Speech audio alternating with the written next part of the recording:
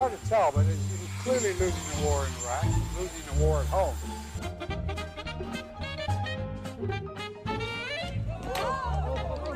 يخلط ما بين العراق وأوكرانيا وما بين بخموت والفلوجة I think the context is that whether or not they're pulling back from Fallujah and the, I mean from the the Kherson, the, the city of Kherson. يريد أن يشكر كندا فيشكر الصين I applaud China for stepping up. Excuse me, I applaud Canada. I'm, you can tell what I'm thinking.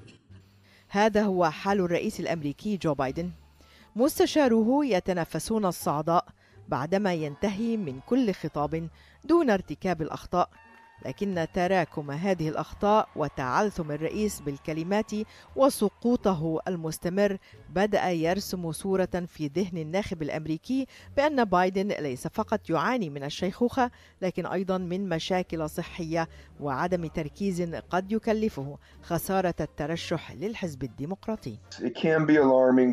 يمكن أن يكون موضوع العمر مصدر قلق لكثير من الناخبين.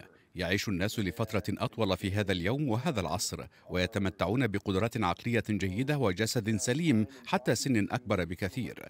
الآن سيقول بعض الناخبين إن هذا الأمر جيد وبالتالي يمكننا انتخابه. لكن سيكون هناك عدد كبير من الناخبين الحزبيين الذين يقولون إن بايدن ليس الشخص المناسب لدورة ثانية.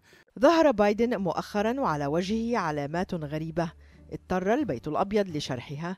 وهي أن الرئيس يعاني من انقطاع التنفس أثناء النوم ما أجبره على ارتداء جهاز يساعده على التنفس. كل ما يتعلق بصحة بايدن الذي يعتبر أكبر رئيس أمريكي يتقلد الحكم يصبح مثيرا للقلق والجدل وحتى للاستغلال من قبل خصمه دونالد ترامب. يقدرون بايدن ويعطونه الاهتمام. بايدن لا يعرف أنه على قيد الحياة. يحاول بايدن التخفيف من وقعها بالتندر على تقدمه بالعمر لكن هذا لا يخفي القلق الحقيقي عن إمكانية إصابة الرئيس بمرض الخرف المبكر وترك الديمقراطيين بلا بديل حتى اللحظات الأخيرة. إذا أصبحت هذه الهفوات علما أحمرا تنذر بعدم قدرته على الحكم. أكثر من عام ونصف حتى موعد الانتخابات الرئاسية المقبلة. حتى الآن لم يتحدى أي مرشح جدي الرئيس بايدن لكن هذا قد يتغير لاحقا وخصوصا وأن الحديث الهامس الآن يدور حول شخصية حاكم ولاية كاليفورنيا جافن نيوسم الذي يمكن له أن يتحدى الرئيس بايدن. نادية البلبيسة العربية واشنطن.